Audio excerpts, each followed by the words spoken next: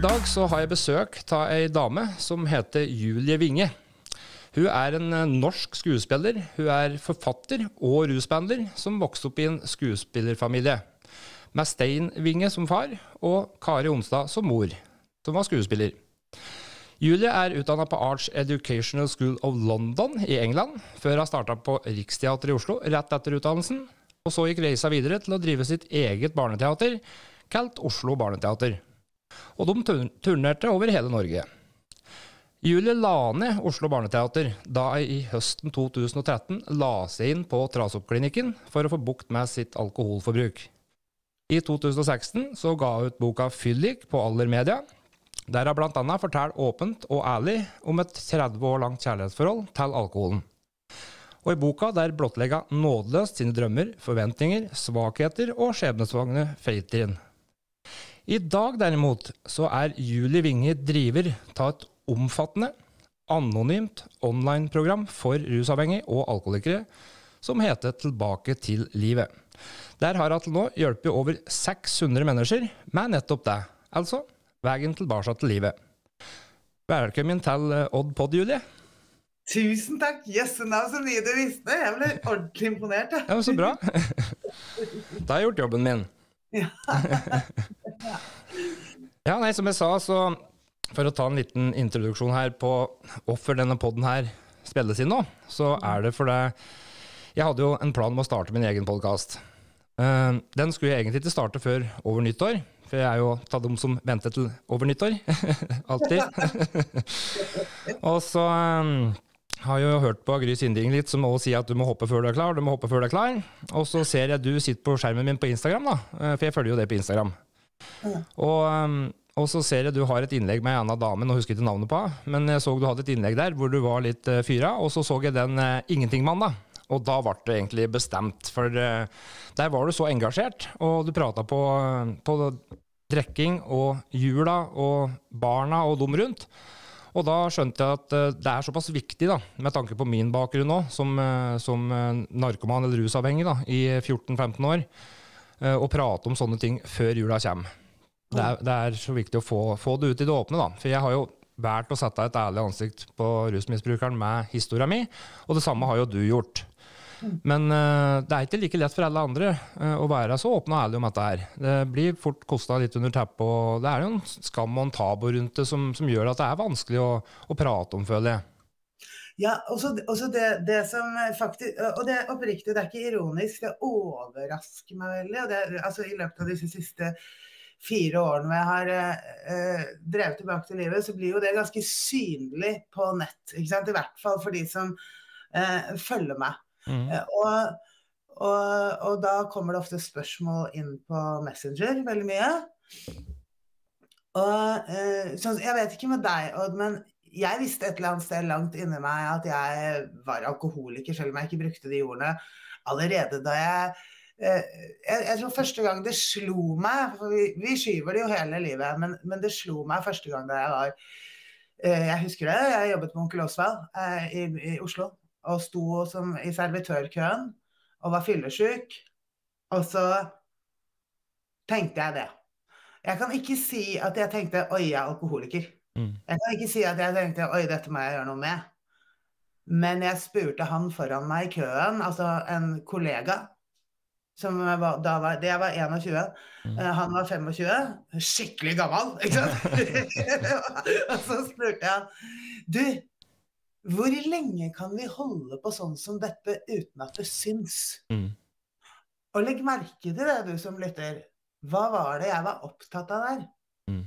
Jeg var ikke opptatt om hvorvidt jeg hadde et alkoholproblem. Eh, jeg var bare opptatt av hvor lenge jeg kunne fortsette å feste uten at jeg fikk rynker. altså, eh, så men når jeg ser tilbake, så er jo det Da visste jeg det. Ja. Og, så hadde jeg viss, en viss kunnskap om veien, fordi jeg er spisevegrer og hadde vært mye i Los Angeles med foreldrene mine og gått på OA. Så jeg har alltid visst at jeg må gå til likesinnede den dagen det gjelder. Mm. Vært innom AA og enda mange, selv om vi ikke har lov til å snakke om det offentlig, så kan jeg godt si at jeg har vært innom. Eh, mange ganger opp igjennom, da bare da jeg var fyllesyk. sant? Mm. Det er når angeren kommer, og du, da du skal ta tak, og aldri når du på en måte er i, i modus. Ja, ikke sant? Altså, altså det som overrasker meg nå, da, eh, grunnen til at jeg forteller litt tilbake sånn, det er fordi det er så mange på messengeren min de siste fire årene som kommer inn og først ramser opp hvor mye de drikker. Og da på den eh, gode måten som er når man er aktiv, at man teller nedover. Ikke sant? Mm. jeg drikker bare helgen. Ja, altså kanskje en torsdag. Eh, men, men, jeg har det bra. Ja. Jeg kommer ikke for sent på jobb. Ikke sant? Tror du jeg har et alkoholproblem? Og i begynnelsen, eh, for noen år siden, så svarte jeg masse ting og delte om det, men nå for tiden så pleier jeg bare å, å spørre tilbake. Tror du Ofte når du, når du, får spørsmålet, kanskje. altså hvis du, hvis du, stiller det spørsmålet til noen, syns du jeg drikker for mye? For, eh, for, jeg har aldri stilt det spørsmålet når jeg drakk. Jeg, jeg, jeg visste jeg drakk for mye, så, så, jeg tenkte ikke å spørre om det. For jeg festa veldig i ungdommen, og du sa det var 21 når du på en måte skjønte at du var alkoholiker, eller at du drakk for mye. da.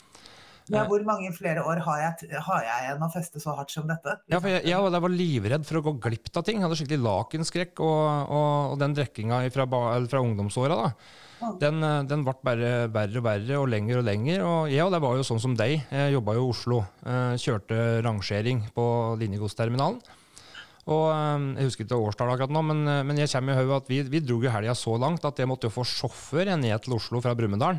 For at jeg torde jo ikke å kjøre sjøl, for jeg var jo drita full ennå. Og kom ned dit og, og pussa tenner og tagg tyggis og, og, skulle inn i, i lastebilen. Men, men, men, jeg så ikke på meg sjøl som at jeg hadde et alkoholproblem. Jeg hadde bare dratt helga litt langt. Og den drar du lenger og lenger og lenger. Men når du sier som, som du sier nå, så, så skjønner jeg jo at jeg hadde et alkoholproblem da i hvert fall en alkoholutfordring. For at jeg, at jeg drakk jo hver helg for at jeg hadde lyst. Ikke for at jeg måtte, tenkte jeg, men at, at jeg hadde lyst. Og det, det, er en veldig lang, grå sone mellom det å ha lyst og tro at en klarer, og i det å gå over i den at du faktisk må ha det for å fungere.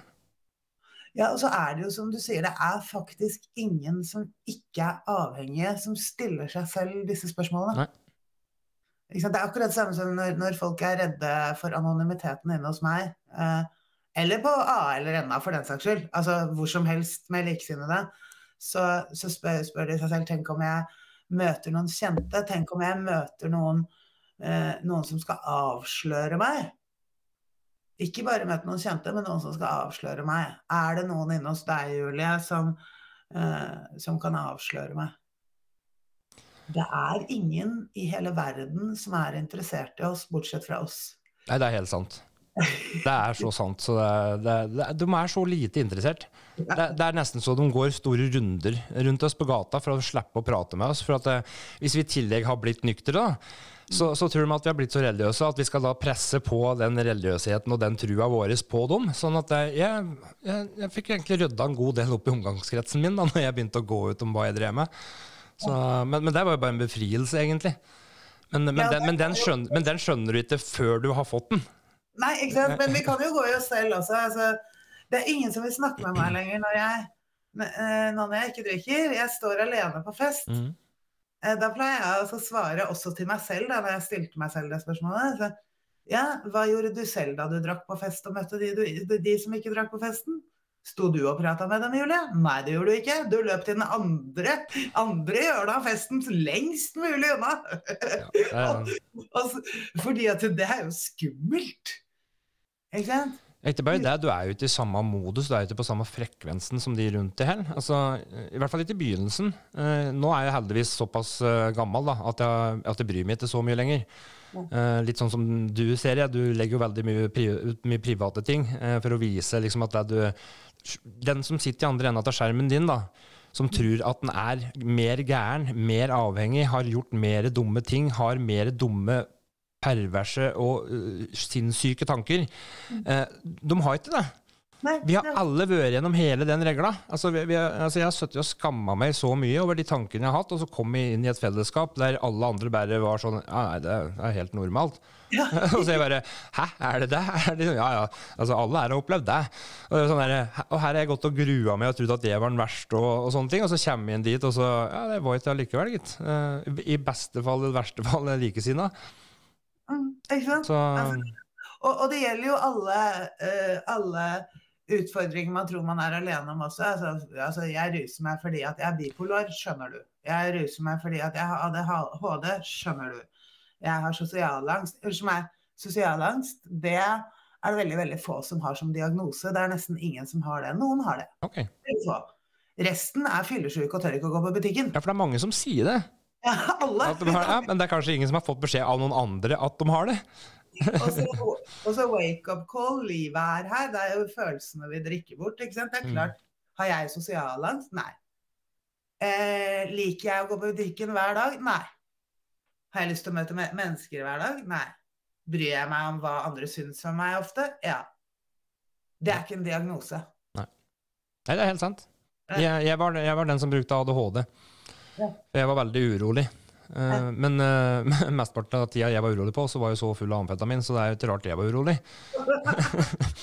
men jeg var veldig god da, til å bruke det for å få ut medisiner og sånne ting. Og når jeg kom i, i rusbehandling nå, da uh, altså Psykologspesialisten min han, han er jo nesten blitt avhengig av. For at jeg, nå jeg føler jeg meg så normal at jeg må ha bekreftelsen hans hele tida. Han har jo plukka av meg diagnoser. Så dette er jo helt fantastisk. Og da, da, da har det vært noen gode samtaler der. Og, men, eh, men den veien dit Det har tatt to år, da. Jeg har jo to år rusfri tid nå i desember. Ja, tenk så, tenk så bra. Altså så fort som det har gått nå.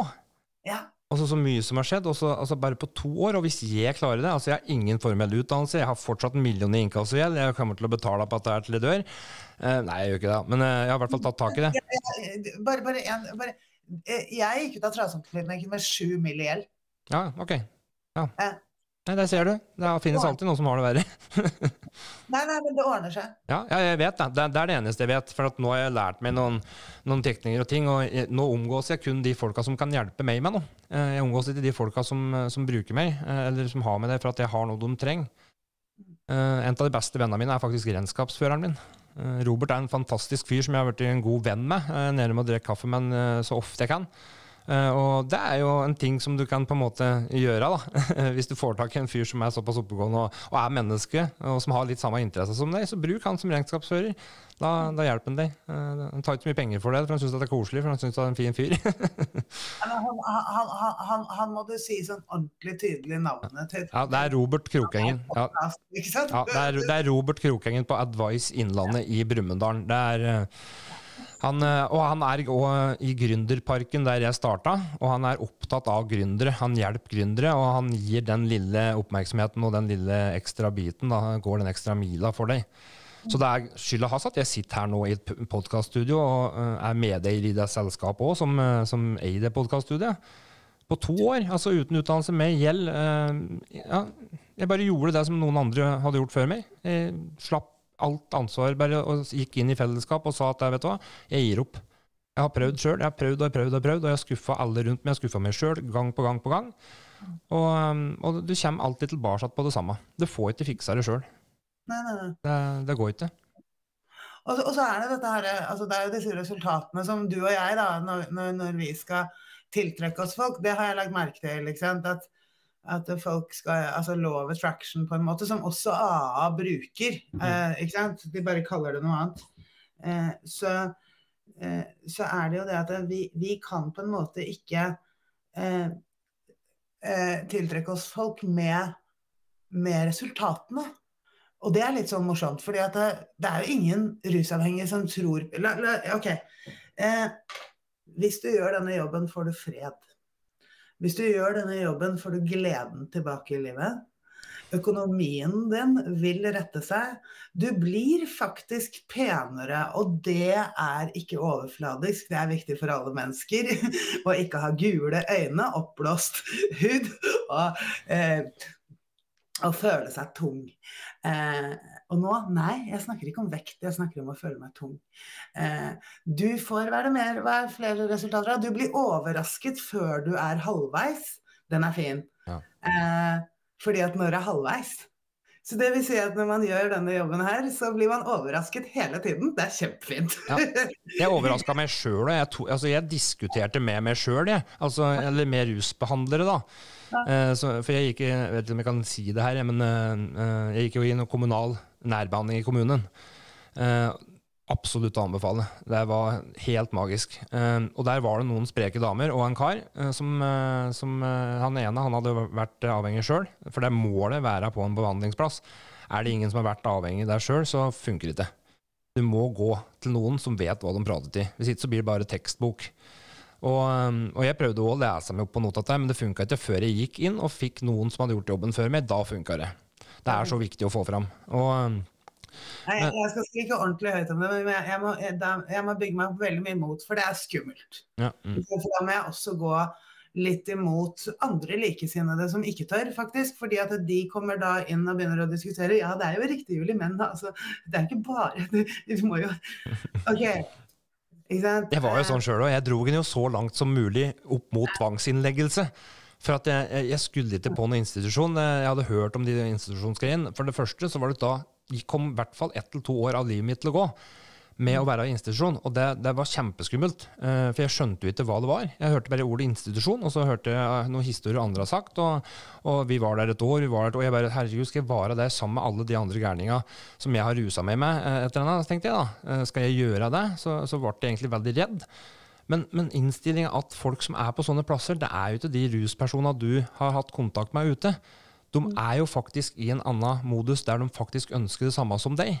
Ja, ja, ja. Og dette, dette, blir veldig nøye sortert ut òg, i hvert fall der jeg gikk. Eh, at det, du fikk ikke lov å komme inn der før de var sikre på at du faktisk hadde et ærlig ønske om, om, om forandring. Men jeg måtte jo faktisk måtte, Jeg, jeg ble jo knivstukket og lå i koma i fire uker for to år siden, i mars i 2019. Så jeg måtte jo, jeg dro den jo så langt som det gikk an å gå. Eh, jeg var jo så å si død og lå i koma og måtte lære meg å gå, prate, spise, ete, sitte, alt på nytt og jobbe meg opp igjen. Men der kan jeg bare skrive under på at den jobben der, å lære seg å komme seg ut av sjukesenga med liggesår som aldri grodde, med betennelser, med, med, med, tilbakefall altså Jeg var så medisinert, så jeg så jo dobbelt. Uh, det var ingenting, det. det. det. som skjedde der, det var ingenting, det. Mot for jobben jeg skulle gjøre når jeg kom hjem igjen uh, og ikke ruse meg. Der, der, var det verste. Å slutte å ruse seg var fader meg det verste, altså. Uh, det å komme seg etter fysisk skader, det er jo ingenting, det, i forhold. Og det er derfor det er så, så viktig, eh, sånn som, sånn som, jeg snakket om disse her uh, resultatene vi får. Uh, de er det ingen av oss som tror på. Så, så når man skal, skal, skal, hjelpe andre mennesker, altså ved attraction, mm. uh, som i andre settinger, da, er å snakke om resultater. Ikke sant? Eh, det er ikke noe vi tror på når vi er aktive.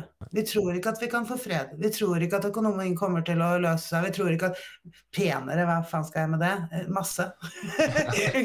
altså, uh, Klart det har noe å si. Vi tror ikke på noe av det. Og det er jo også en av grunnene til at rus står litt for seg selv som en utfordring, fordi den eneste måten å gi videre på, er å dele sin egen erfaring. Ja. Ikke sant? Og da, da, kan man ikke dele sin egen erfaring i hva, hva, resultatet er for noe. fordi det er ikke der personen som, som sliter, har det. Og akkurat i vår, vår, setting så er det også sånn at ordet sliter brukes veldig mye. ikke sant? Mm -hmm. Istedenfor utfordring. Problemer og sliter og Mm. Ja, Å gud, det er meg som er sliter. Ja, ja, ja. men, men, men, det er også viktig. Vi, vi, vi, vi, må bringe den formen videre som er å huske hvordan det var mm. mens vi var der. Ja, for du glemmer fort. Ja, det glemmer man. Jeg, jeg er veldig heldig, for jeg glemmer det ikke. fordi jeg jeg behandler jo folk, så jeg mm. jobber bare med nykommere hele tiden. Ja. Jeg, glem, jeg, merker bare på meg sjøl at jeg glemmer fort hvis jeg ikke er aktiv i den boka og leser opp dagens ord og litt sånne ting. Så, så glemmer jeg. Uh, I business, uh, ting skjer, eller uh, andre ting i livet. så detter det litt ut. Men nå er jeg òg såpass heldig at jeg jobber med sjølutvikling. da. Eh, Med kurs. Og er, i bunn og grunn så er det jo en rød tråd gjennom det hele. Du prata jo litt på det på den ene videoen din nå, tror jeg. Så sa du det at det er, i bunn og grunn så er det jo et sjølutviklingskurs. Det er ikke en, en rusbehandling. Du lærer ikke å slutte å ruse deg.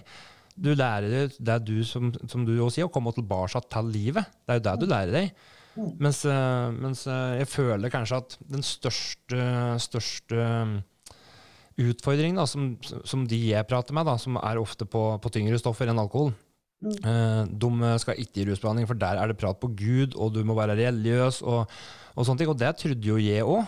At, Mm, er jo- at det var det som var hovedgreia der. Men så fort jeg kom inn dit og bare, og, og bare tenkte nå bare, nå bare gjør jeg det alle andre gjør, for at jeg, ja, det må bare gjøres ordentlig.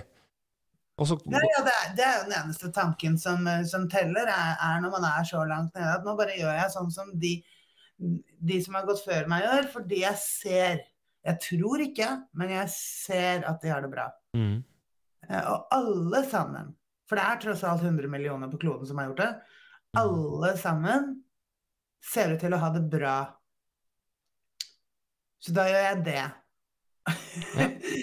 og så handler det innmari mye om Gud og sånt, noe dritt og piss og møkk. Det, men den, den biten der, den, jeg vil bare si at den skjønte jeg ganske tidlig at det, dette her kommer jo fra USA fra 30-tallet. Er det ikke noe sånn? Uh, at eh, sant? Ja, og, og, og der er det Altså, der bruker de jo ordet Gud i alt som er. Sånn at det blir veldig mye ordet Gud i tekster. Uh, mens, mens jeg syns at høyere makt, ja, eh, altså din høyere makt, din tro, det er det som er viktig.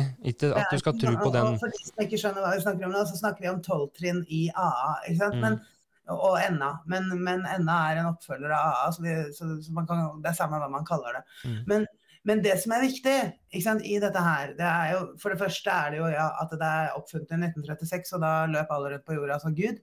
Eh, eh, det andre er Vi kan godt sitte her og så overbevise folk om at det er ikke religiøst, og det er det ikke. Men, men de kommer til å tro det allikevel. Så det gjorde jeg, det gjorde du. Det jeg tenkte da jeg begynte, var at jeg må ha det så bra som den personen jeg har det. Jeg har hørt mange si at det ikke er religiøst, så hva gjør jeg da? Jeg gir det en sjanse. mm. Ikke sant? Og det er alt man trenger å tenke for å bli edru og nykter. Altså Uansett stoff. Russell Brand er heroinist, han har bare gjort det. Eminem har, gått, Mm. har, ikke brukt masse penger på Betty Ford-klinikken, han, han, han har tatt Holter Mm. Ikke sant? Alle kan gjøre det. Jeg har møtt masse heroinister på NA. Det er ikke noe, er ikke noe hokus pokus. Og det er, det er ikke sånn at du må gå på metadon i 38 år eh, og dø rusa av metadon. Det er mulig man må ha en overgang. Men, men det er jo å gå inn og så tenke noe lignende. Man trenger ikke å tenke akkurat det jeg sier, men jeg får gjøre dette, og så får jeg se hva som skjer. Ja. TV 2 sier det hele tida! Ja, ikke sant. Du, og du har, gar, du, du har garantert tatt den sjansen før når du snek deg ut på butikken for å kjøpe pils, eller når du dro ut for å kjøpe stoff. Eller, altså, vi bare gjør det, og så ser vi hva som skjer. Jeg orker ikke å ha mer noia. Vi får bare gjøre det, for at jeg trenger det jeg skal ha, og du trenger dette her òg. Ja, altså, Og det er første møte som er det viktigste. Sånn de har det, og så eh, gjør jeg sånn som de gjør, og så ser jeg hva som skjer. Mm. That's it. Altså, det er i hvert fall det mest magiske jeg har gjort. Det, det var ikke det letteste, altså, å sitte, men, men det fine er jo at det på en måte Når du, når du først har kommet dit, da, og, og det tar en tur eller to eller tre før du på en måte for, for, for, Første møtet mitt var i hvert fall sånn at ok, jeg skjønte ikke bæra. Hva er det de prater til? Hva er det de eh, sier? Og så kom jeg tilbake til neste gang, for at det ble sånn der, hvorfor fikk jeg ikke tak i det? Og så kom jeg tilbake neste gang, for jeg, lurte på hva i all verden var dette der? Og så, hvordan kan dette her hjelpe? Og så møtte jeg opp neste gang. Og så skjønte jeg litt mer. Da torde jeg faktisk å prate med et par av dem og, og føre en samtale og spørre liksom, eh, hvorfor leste jeg det, hvorfor er det den? Og, så, og tredje møte det gikk lett som en plett. Og fjerde møte, da hadde jeg hatt mitt første tilbakefall. Ja. Ja. Eh, og da var det sånn der, eh, Å gå inn der med den skammen var faktisk verre enn mitt første møte. For da hadde du faktisk drept deg ut òg, på toppen av det hele. Men den forståelsen, og det må jeg bare si, for det var faktisk det viktigste mitt, Klart at mitt første møte var det viktigste, men det viktigste som har skjedd meg der, var faktisk når jeg kom inn der og fortalte ærlig om at Vet du hva, jeg rusa meg på amfetamin i helga. Men jeg har lova meg sjøl å gå hit, eh, uansett om det skjer eller. Og så sitter jo det noen folk der og så bare Ja, det er godt du kom tilbake. For det er det beste du kan gjøre for deg sjøl. Og så møter du forståelse. Og så sa jeg til rusbehandleren min da, i, det, opplegget jeg var til, at jeg hadde rusa meg. Så flirer han av meg. Han skjønner at jeg har litt sjuk humor, da. Altså, han vet at jeg tåler trøkk, men han flirer til meg. Altså, 'Hadde du forventa noe annet? Du er jo narkoman', sa han. Det er jo det du gjør. Og det var sånn derre Fy faen. Jeg, altså, hæ? Og så få et så ærlig svar rett i fleisen. Det funka, da. Jeg bare Ja, det er faktisk det jeg gjør. Ja. Ja, Eh, jeg, Det der som- er som eh, Jeg hadde eh, Sturla Berg Johansen innom på sending i Tilbake til livet for eh, en liten stund siden på besøk. Mm. Og- og da, da ble jeg påminnet at det, det er noe vi sier i, eh, i eh, fellesskapet. ikke sant? Men jeg hadde glemt det. Og det var, det var en som spurte på sending spurte, ja, hva vil du råde en som tviler på at de er avhengige eller eh, rusavhengige eller er alkoholikere, å gjøre det? Og så ser han bare sånn Gå ut og test! Og så gå ut Gå ut og test! Ja, gå ut og teste. Ja. Ja, og jeg kom på at jeg har jo hørt dette mange ganger, det var bare en stund siden jeg hadde hørt det. Så det sånn, og, det og det er det beste rådet i verden. Mm. Altså, tviler du på, på om du er alkoholiker eller rusavhengig fordi du har vært nykter eller edru en stund og alt går bra, gå ut og test! Ja. Sjekk det ut. Ja, sjekk det ut. Ja. Nei, men jeg tror at i underbevisstheten din så vet du det egentlig. Ja, ja. Det er bare at du trenger noen andre til å fortelle deg det. ja. For at eh, du hører ikke på deg sjøl lenger, for at du vet at det, det er nyttig til. Det- For du får det samme svaret hver eneste gang. Gå og kjøp øl, gå og kjøp stoff, gå og rus deg. Det er det du gjør, det er det du er god på. Det er det som gir deg den følelsen du er ute etter, tror du. Mm. Og så, vil jeg si bare én ting på mens vi holder på, som er, gjerne er viktig for meg å få med på, på denne episoden. her, det er for nå, snakker vi veldig mye tolvtrinn og veldig mye Ja. Eh, fellesskap. Og det er ikke det jeg driver med tilbake til livet. Og det er viktig forskjell. Mm. Det, jeg, min visjon var nemlig Og da er vi tilbake på Gud. Eh, men jeg faktisk Altså, jeg, jeg sier det rett ut, jeg. Eh, alle mener det, men eh, jeg er ikke så veldig redd for å si det. At helt fra tidlig tilfriskning, fra de første månedene, så irriterte det, og da sier jeg ræva av meg, at det sitter masse travere på noen møter, ikke alle. Men det er så innmari irriterende at man alltid må si nei, det er ikke alt, nei, det jeg mente ikke det, nei. Så jeg, jeg tar alle over en kam. Mm.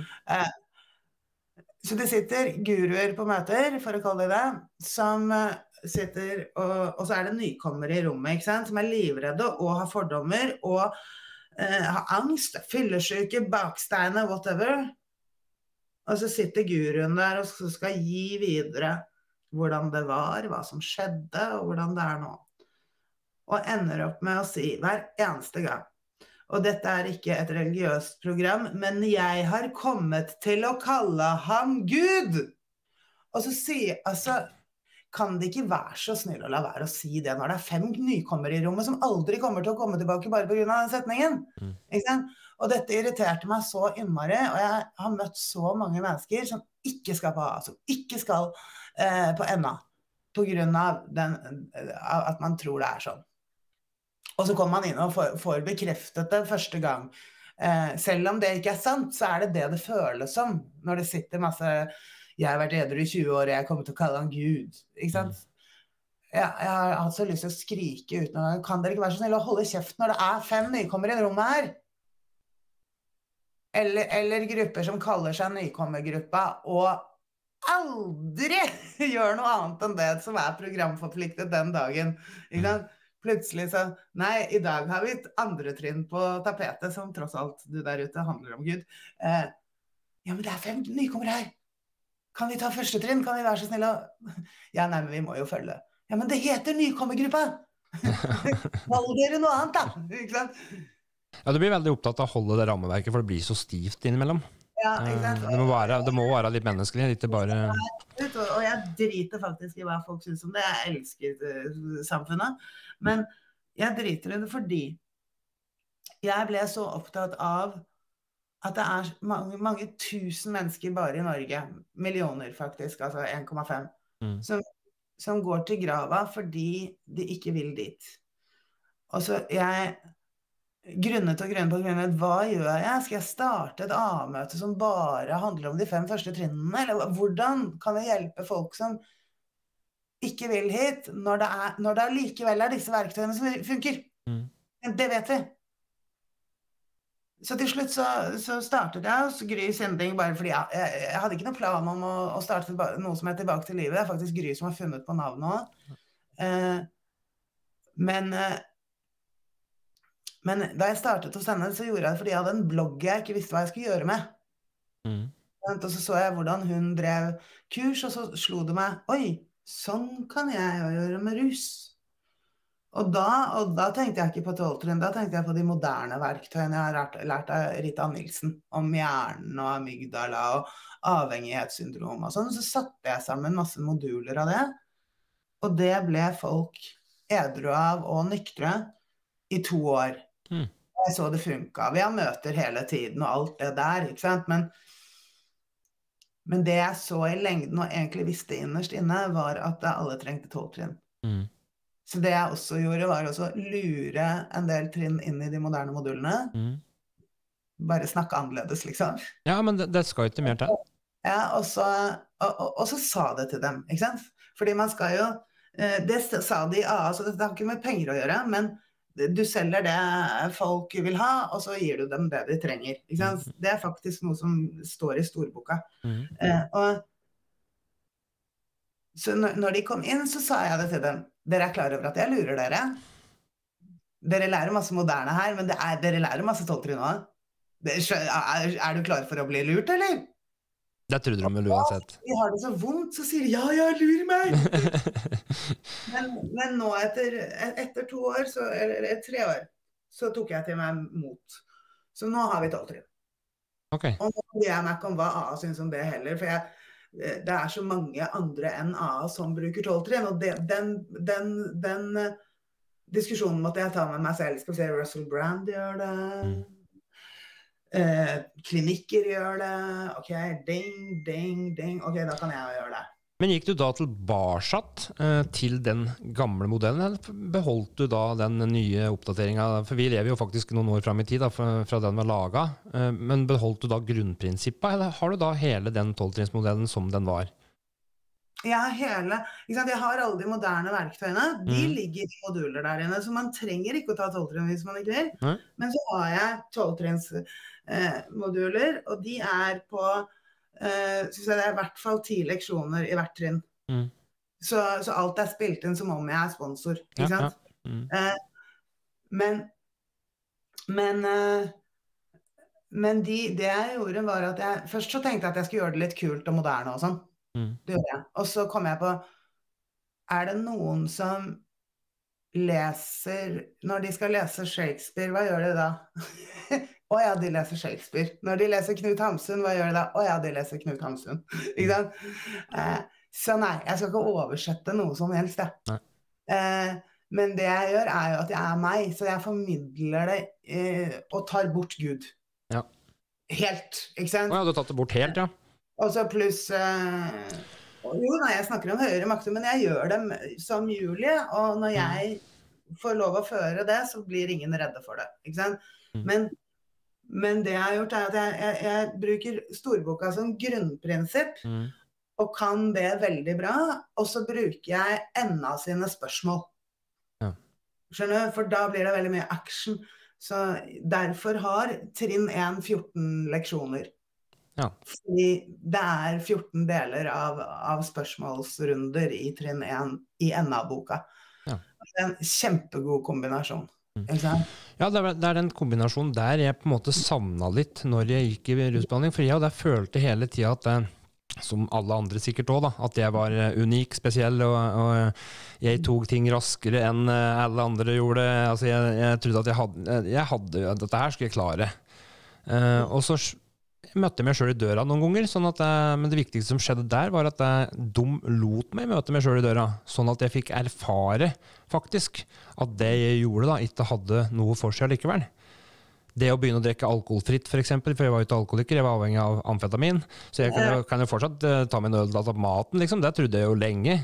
Eh, det var og det, det mest magiske var når jeg overtalte meg sjøl til å ikke gå på fest idet jeg skulle fortelle rusbehandleren at jeg skulle på fest. Jeg skulle drikke alkoholfritt og jeg skulle kose meg. Enda på visa var jo at jeg ga bort billetter, for jeg, jeg, jeg, jeg hørte meg sjøl sa det høyt, at det hørtes så dumt ut. At vet du hva, vet du, du har egentlig helt rett, og jeg skal legge meg helt flat, så jeg bare gir bort billettene mine. Og etter det så har jeg ikke tatt, uh, tatt en øl heller. Nei. Nei. Eh, jeg, jeg spurte meg også selv uh, skal vi se, Kan jeg drikke Munkholm? Kan jeg røyke hasj? Kan jeg, for jeg er bare avhengig av alkohol. Jeg har jo prøvd kokain mange ganger, og det, ikke, det satt ikke. ikke sant? Jeg har aldri hatt nedtur på det, for jeg har tatt det så sjelden bare for moro skyld. Så kan jeg gjøre alle de tingene. Ja, jeg, hvis, jeg, hvis, hvis, jeg, tar litt kokain nå Ok, jeg blir ikke avhengig av det, men hva får jeg lyst til da? Interessant. interessant.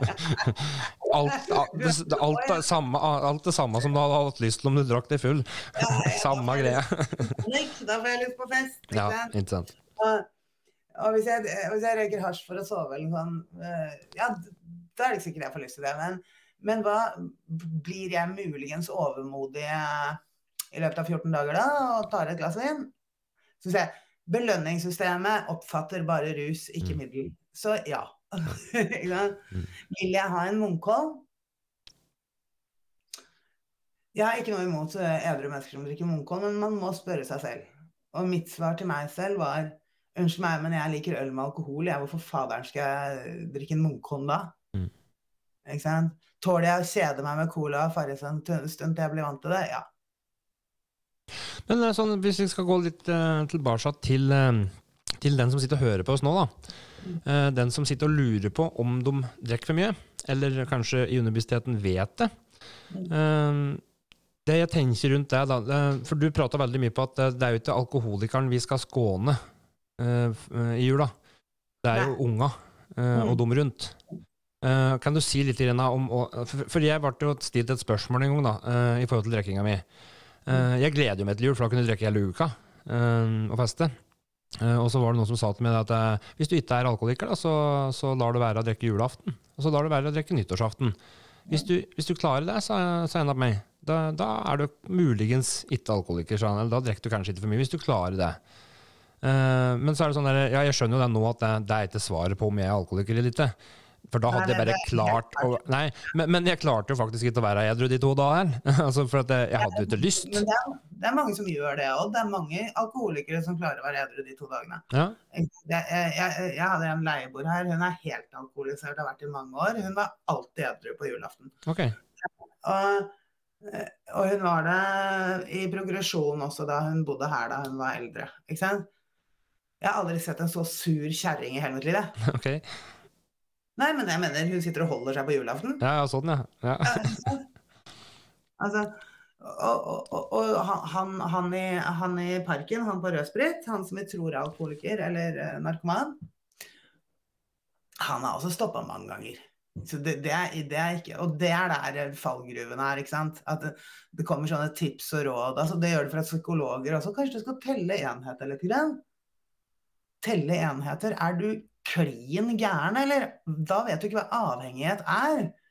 Ikke sant? Altså, telle Skal vi se Ja, jeg skal telle det jeg tenker på og planlegger absolutt hele tiden fra før av likevel. Og styre livet mitt etter. Så skal jeg telle det nedover. Til jeg kommer frem til at jeg kan drikke litt mer fordi jeg, jeg er trigga. Ikke sant?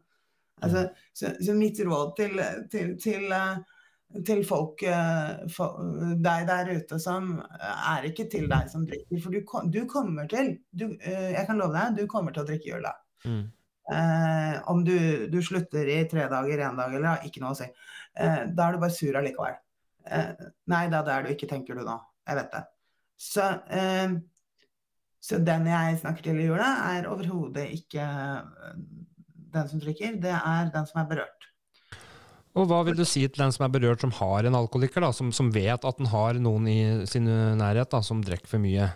Uh, bare for å ta litt kjapt. Kjære deg. Altså, den, den, du er berørt av, kommer til å drikke uansett.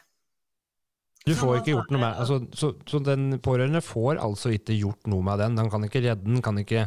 Nei, Nei. For det er jo litt viktig å få fram, føler jeg. For at eh, Ja, Faren min slutter jo bare å være glad i meg, sånn at han skjøv meg på en måte helt bort, for det, det var det eneste å gjøre. For at jeg, jeg var jo den samme uansett om han, om han inviterte meg til jul eller ei, så rusa jeg meg fortsatt like mye, like lite. Så da skal jeg prøve å si det til, eh, til deg, deg som hører på nå. Ikke sant? Altså, det du gjør, det er jo den feilen du gjør, er at du håper at det skal gå bra. Og så går det ikke bra, og da bruker du absolutt hele Hør her nå. Hele, hele energien din på julaften på at den personen drikker. Mm. Eh, du er irritert på den personen, du prøver å få den personen til å ikke drikke så mye. Du, du, om du ikke løper fysisk etter personen, så går hele din energi til den personen. Har du da tenkt over hvem du glemmer? Mm. Du glemmer det barnet du prøver å beskytte. Fordi du bruker hele energien din på den som drikker. Så la den personen som drikker, for det kommer den personen til å gjøre uansett, sitte i hjørnet sitt som en sekk og drikke all akevitten sin, for du får ikke stoppet det. Hvis du prøver å stoppe det, så kan det godt hende at den personen flytter seg fra, hjørnet og ned i vaskekjelleren og drikker det der istedenfor. Det skal du ikke eh, være i tvil om. Ta deg av barnet som er der, uansett om det er mormor, onkel, eh, søster eller eh, filletante, og drit i den som drikker. Mm. Det kan hende den personen er utagerende. Da finner du løsninger. Du kan f.eks. ta med deg barna opp på soverommet og si 'vi har lagt oss', vi. Mm. Og så kan dere spille PlayStation der. Ja, for alt er på en måte bedre enn å utsette barna for den, opp- den erfaringa der, på en måte. Det er bare å Ja, altså ja. De, de blir utsatt for Ja, det. jeg, jeg skjønner jo det, da, men, men på en måte er, alle tiltak er bedre enn å sitte der med den og bruke energi på den personen. Ja, Mm. ikke sant? Mm. Ikke sant? Og, og jeg tror det er veldig få som tenker på det. Og så Mm. tror jeg det er Når man hører det, så er det ganske opplagt, egentlig. Mm. Ikke sant? Det enkle er ofte det beste, men det er så enkelt at du måte du, du kompliserer det så mye når du treffer tankegangen din, og du begynner å prosessere det. Men søk ekspertråd var noe jeg fikk et tips om til Tony Robbins. Hvis du er i tvil, søk ekspertråd. Uh, Og det er ikke noe tvil om at du er en ekspert. Altså, du har mange års erfaringer med dette her, og vet absolutt åssen hvordan du ikke skal gjøre det. Og du vet veldig godt uh, hva som funker best. Så, så det, hvis jeg skal gi noe råd om det, da, nå er det alkohol vi prater på. Jeg jobber jo ikke med rusavhengig i den forstand.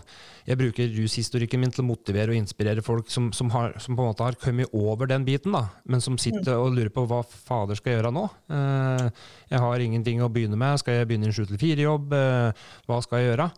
Så jeg har på en måte tatt det derifra, da. At de personene som på en måte har hatt så lang rusfri tid, at de begynner å kjede seg litt. Eh, at ok, nå har jeg, nå har jeg kontroll, eller nå, nå, nå er livet mitt på tur til å bli så bra at jeg trenger mer utfordringer. Mm. For, Mm. for at eh, det er jo utfordringa vi står til. Det er jo dem vi må lære å komme over. Min suksess består ikke i penger eller hvor mange følgere jeg har på Instagram. eller, eller noe sånt. Min suksess stå, består til det at det, når jeg skal være med og kjøpe en gård til eh, 4,8 millioner, så gikk alt i vasken eh, og til eh, dundas for at det skjedde en feil i kjøpekontrakta som gjorde at vi ikke fikk kjøpt den. Min suksess ligger da i å, å, å restarte meg og tenke at ok, er det sånn livet er? Ja, da skjedde det vel for en grunn. Og så takler jeg den utfordringen. Og det å takle den utfordringen, det må jeg hele tida minne meg sjøl på at vet du hva, da har du fader meg kommet langt, altså, Pedersen. Når du klarer det. Når du takler nederlaga. Det er jo ikke det at du må hele tida nå opp til toppen, men det å takle de daglige nederlaga, de tinga, og kanskje lære seg å flire litt av det og si at ok, hva lærte jeg der? Mm. Mens, mens du på en måte, du jobber jo da i, i andre enda med å, å, å vise at det, her er det en plass å begynne som faktisk fungerer. Ja, Ikke sant?